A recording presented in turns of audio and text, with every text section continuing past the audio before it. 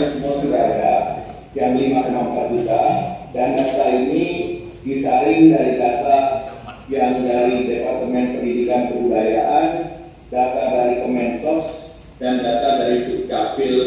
dari Kementerian Dalam Negeri. Sehingga diharapkan net data ini adalah mereka yang tidak menerima PKH berumur lebih dari 18 tahun dan memang mereka sedang mendapatkan uh, musibah dalam kondisi seperti ini. Nah, kemudian yang berikut uh, yang terakhir terkait dengan uh, penerapan PSBB di Jakarta yang ada usulan juga di daerah Bodetabek. Nah ini yang saya kami mengingatkan bahwa ini adalah banyak daerah produksi ataupun daerah industri yang dalam permen kes sudah dikecualikan untuk bisa tetap berproduksi karena ini nanti juga digunakan untuk mencegah